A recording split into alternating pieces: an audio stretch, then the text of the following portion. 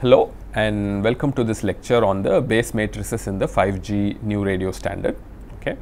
Uh, like I mentioned the 5G standard uh, specifies parity check matrices for LDPC codes using this base matrix and expansion method except that there are uh, two base matrices and several possible expansions. Okay. And the base matrix itself is quite large. It is not a very small base matrix. In my example, I showed you a 3 by 6 base matrix. The base matrices in the 5G standard, there are two of them. One is 46 by 68, the other is 42 by 52.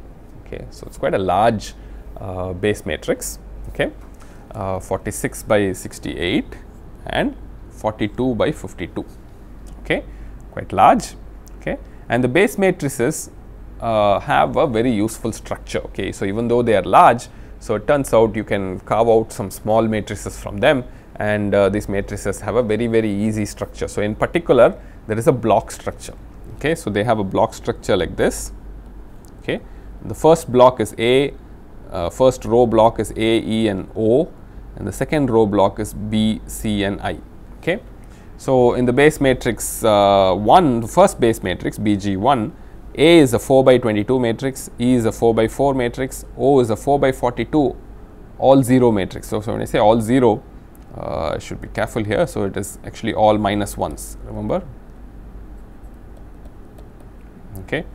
So, so in the base matrix it is all minus 1. So, so it gets replaced by you know when you expand it gets replaced by the all 0 matrix. Okay. So, B is uh, 42 by 22, it is much larger, right. So, 42 by 22, C is 42 by 4, okay.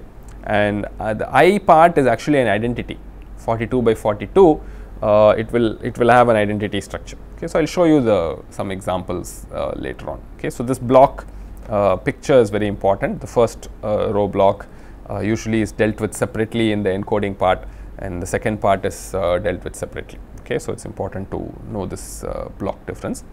Uh, BG2 also has a very similar structure. Okay. So, remember BG1 is 46 by uh, 68. So, you can see uh, 4 plus 42 is 60, 46 and then 22 plus 4 plus 42 is 68. Okay. And the base graph 2 also has a very similar block structure uh, A uh, 4 by 10, 4 by 4 and 4 by 38 and then B is 38 by 10, 38 by 4, 38 by 38. Okay. So, easy enough to describe. The standard goes into details on what these uh, each of these things are. I will show you some uh, some pictures next to illustrate how this looks. Okay. So, how does the block look? This is how it looks. This is my A part. Okay. This is BG2 by the way. This is uh, E. This is O. Okay. So, you can see O is like the empty part. So, this is uh, okay. I should tell you how I got this picture first. So, this is a visualization of the base matrix. Uh, what I have done here is minus 1 is ignored. Okay. If the base matrix entry is minus 1, I have just put space there. Okay. I am not, I'm not showing it because it gets replaced by all 0. Okay. 0 to any other value 0, uh, 1 etc. right. I am showing as a dot, okay, the blue dot. That is the visualization just to show you how the structure looks where the non-zero values are. So, you see this A part is fairly dense okay? A lot of uh, non-zero values. E is also E also has a very peculiar special structure. It is called the double diagonal structure okay? You can see if you come in and see closely you will see E has one main diagonal and an off diagonal right. So, you can see the main diagonal and the off diagonal. This is the double diagonal structure in E. This is all all 0 so, there is nothing in this. I mean all minus 1s all zeros okay. And then you have the B part which is uh, this big part. And then uh, oh, what did I call this? C which is this uh, long rectangular small part. And this is the identity part. And you can see this is just diagonal. And in fact all these entries are zeros okay as in they are replaced by an identity. So, overall even after expansion this will be identity okay this will be all 0 after expansion okay the top O part will be all 0. So, this is how the matrix will blow up okay. So, so even though like I said this is a pretty big matrix it is 42 by uh, 52 you can sort of stop here if you like you know for instance you can do this. So, this small part is another base matrix. You can ignore all these other things. You can sort of puncture all these things out. You do not have to evaluate those parities. Only use this part of the base matrix to transmit your code word. Okay, you can do that. That part, that sort of thing is called rate matching. So, you can you can choose to do that. In fact, uh, the first two message blocks are not transmitted at all in 5G. Okay, they are always punctured. These two guys are always punctured. Okay, so so I don't want to spend too much time on uh, the rate matching and all these things that happen in 5G. I, I want to focus on the LDPC decoder first, and then maybe in a later lecture I'll point out uh, how the rate matching actually works. So, even though this whole parity check matrix is very big, you can see this large identity part allows you to just cut off wherever you like. Okay, so you can get smaller base matrices and uh, different rates quite easily from this uh, matrix. Okay, so uh, so like I, like I mentioned, I'm not going to spend too much time on thinking about rate matching uh, in this in these lectures, uh, but but it's good to know where they come from. Okay, so this is how the matrix looks. The entries themselves are very different. I'll show you some of the entries in, in a few examples in the later slides. Okay, so hopefully this is clear. Uh, if you go to the standard document, there will be a clear description of how to construct these base matrices also. Okay. Okay, so now what about the expansion? Okay.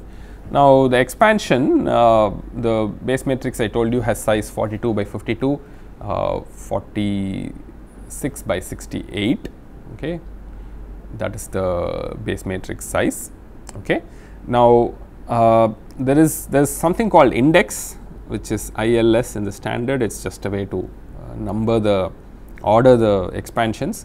And then there are two factors here which control the expansion. There is a factor called A and then there is a factor called JA and the expansion is A into 2 power J for J going from 0 to J. So, there are a lot of expansions possible. So, if you look at A equals 2, it corresponds to expansion of 2, 4, 8, 16 right all the way up to 256 right. So, 32, 64, 128, 256 right. So, this is uh, this corresponds to uh, j equals 0, this is j equals 1 all the way up to j equals 7.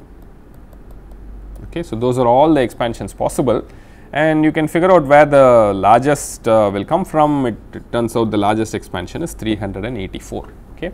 So, this is just given to sort out all the expansions. Now, for every base matrix and for every expansion, there has to be uh, you have to fix the values. Okay, you have to specify what the values are. Okay. So, for each ZC, the base matrix values are specified. They take values from minus 1 to ZC minus 1. Okay. All right. So, let me repeat this once again. For each expansion factor, defined in this fashion. There are a lot of expansion factors like I mentioned for every A you have to multiply with uh, 2 power j, j going from a certain range and so you have a lot of expansion factors and for every expansion factor you have to specify the standard clearly specifies what the base matrix entries are. Okay, so you have to look at the standard document and figure out what the base matrix entries are for each expansion factor. So, in short given a base matrix and given given a base matrix and given an expansion factor, you can find out the exact entries in the base matrix from the standard description. Okay. So, that is something you can write a program for if you like, uh, it is possible. So, I am not going into the details of how that specification happens in the standard. I will encourage you to read it on the standard document. I will provide a link for that uh, as part of the course material. You can go look up the definition. There is a lot of detail there. Uh, we will skip that, but I will provide the base matrices themselves for every possible base matrix, uh, base graph 1 or 2 and the expansion factor. I will give you the base matrices directly. So, you do not have to uh, do that, but nevertheless it is good to go look at the description and figure out how the base matrices are specified in the standard. Okay. Okay. So, here is an example of a base matrix. Uh, so, I have not shown the entire base matrix here, the BG2 if you remember is 42 by 52 I am only showing 10 rows and 20 columns. Okay. So, after, after this below this and to the right of this there are a lot more entries in the base matrix I am skipping all that. Uh, this corresponds to ILS equals 3, J equals 4 and uh, ZC equals 48. So, this will correspond to a, a, a some A value I believe it is uh, uh, 3. Okay. So, I think this is A equals 3 right. So, 3 into 2 power 4 is uh, 48. Okay. So, this is how the entry looks. So, ZC is 48. So, the base matrix entries will go from minus 1, 0 all the way up to 47. Okay. So, you can see there is a 47 here, there's 26, 36, 46, all sorts of entries here. And, uh, and so, what I have shown here is the E part, the matrix E and uh, this will be the O part, this will be the A part and all that. I am drawing some special attention to E here, I will tell you why. And then you can see the identity part coming here, right. So, this is the identity part. Okay, so, you can see the 0 along the main diagonal and then minus 1s throughout. Remember 0 gets replaced by the identity matrix. So, overall after expansion you will get an identity matrix here. This O will be a big 0 here okay, and then these entries are all, all over the place. Okay. So, I mentioned this double diagonal structure in E's right. So, this is diagonal, this is diagonal, everything else is 0 and then this also has a peculiar uh, sort of uh, form. Okay. So, you will have this uh, 1 minus 1 uh, 0 1. So, this, this, this plays an important role uh, later on. We will see that in the encoding it, it will play a role. Okay. So, we will come to that when we see it. So, uh, so this is how it looks, right? I mean, there's nothing much more uh, to talk about here. So these things are specified uh, precisely in the standard. And like I said, we are not going to see the full description, but this is how the matrix looks. For any other case, uh, the entries are specified. You can go find them and write it out and look at it very closely. You will get numbers like this. Uh, the only uh, part is this E part. I, I will urge you to look at the E part and everything and this first column will also have a peculiar structure. So, so later on uh, I will talk about why this is true, uh, why this is useful this double diagonal structure. So, this is uh, sort of useful in encoding. Okay, so this structure is useful in encoding this double diagonal structure. Uh, I will mention that later on in a lecture. Okay, so this is uh, some one example. I think this is the last slide. Uh, what I want to do is show you so, I promised uh, that I will show you the base matrices themselves. So, here is a folder where I have written a program to generate all the base matrices in the NR standard. So, you can do that and then uh, then this is just written down here for uh, every single possible uh, J and ILS and then I am just going to show you some of the base matrices uh, that uh, that are there. So, you can pick anything else. So, for instance, let us say we pick this one. Okay. So, it is a rather, a rather large uh, base matrix. Uh, maybe I can blow it up a little bit. Not sure if how visible this is.